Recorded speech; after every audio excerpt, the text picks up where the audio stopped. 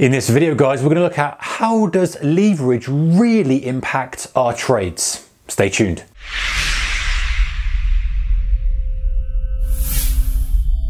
Hey traders, warm welcome to you. Thank you for joining me. All right, so we understand the concept of leverage. It basically means that we can put up a small percentage of the total notional value of the trade we're making.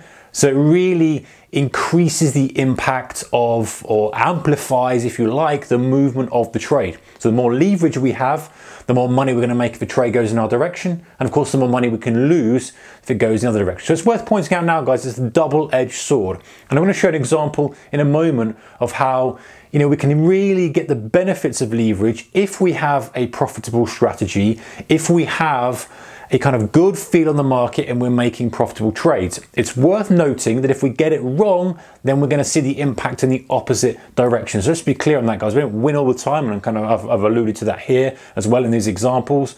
But even if you're struggling and you're making losing trades, you're going to see the negative impact. But let's assume for this video that you have a profitable strategy, you have some losing trades, but you have some better winners. And over time, let's look at how just really using leverage to your advantage and using it prudently can really affect your bottom line. All right, so let's have a look. We've got two brokers here. One is broker A and they're offering 0.5% leverage. And one is broker B and they're offering 5% leverage. So let's say, for example, this broker A is CoreSpreads Australia. Our channel sponsors link to them in the description below. I know that is their margin requirement for AUD, USD, DAX, Dow, and FTSE. Uh, US 30, German 30, UK 100 if you're looking for it on the Core Trader 2 platform. And broker B any other broker. I know there's plenty of brokers out there and that's the margin requirement. So CoreSpreads Australia, 0.5% for these. Obviously go and check it, it's a market information thing there, can change at any time, but at the moment of filming it, it is that. So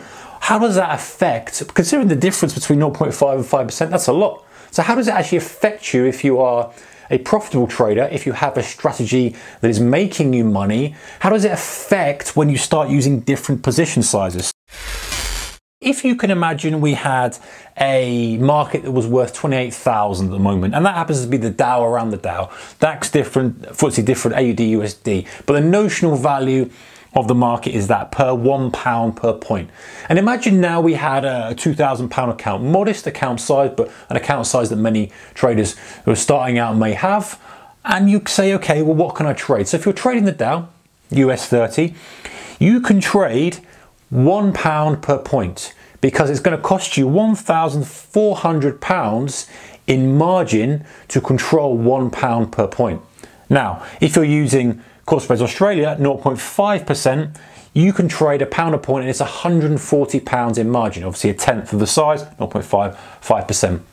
Right, so if you're trading, let's say a pound a point, you're restricted to that, you've got a 2,000 pound account, that's all you can do. You've got no room for error really, that's it, you can't do any more. You just, that's the way you got to do it. Let's imagine now we have five trades here. And these five trades, we have a winning 50 point trade, a winning 50 point trade, a losing 25 point trade, losing 25 points, winning 50 points.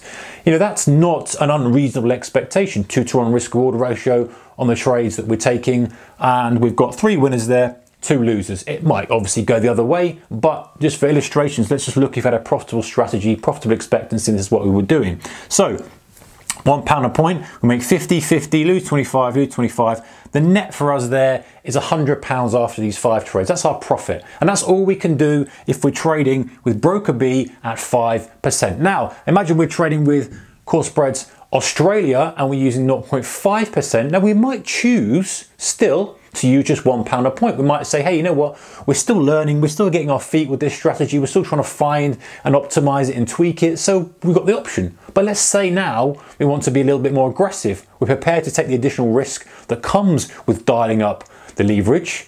And we say, you know what? Now I want to do two pound, five pound, or even go 10 pounds. You know, obviously understanding that, you know, if this goes the other way from us, it's going to flip the table completely. But we have that option to dial it up or down as we see fit. So we can trade up to £10 a point here, and £10 a point will cost us 1400 So we've still got room to breathe. Don't forget though, if we're trading £10 a point, obviously we've got to be careful with our stop size because £10 a point is going to swing us quite wildly. But if we accept that, look at the difference we've got. The total, if we do £2 a point, is obviously double, £200 profit, £5 a point, £500 profit, and £10 a point, £1,000 profit. So we're making 10 times the amount, well, obviously we are, but we have the ability to make 10 times the amount. Of course, we have the ability to lose it, but Look at the difference and how more effective you can be if you have a profitable strategy. You can choose to dial up that leverage as and when, let's say the market conditions are favorable for you. Let's say you've got a good risk management in place. Let's say you've got a good system, a good strategy, good conditions, and you're trading well then it makes sense to be able to use that tool that's provided for you rather than being choked and throttled back by a 5% leverage. You're bound to do, okay, can I do one pound a point? So how long is that going to take you to actually build your account up and build it up and build it up. It's going to take you a long period of time.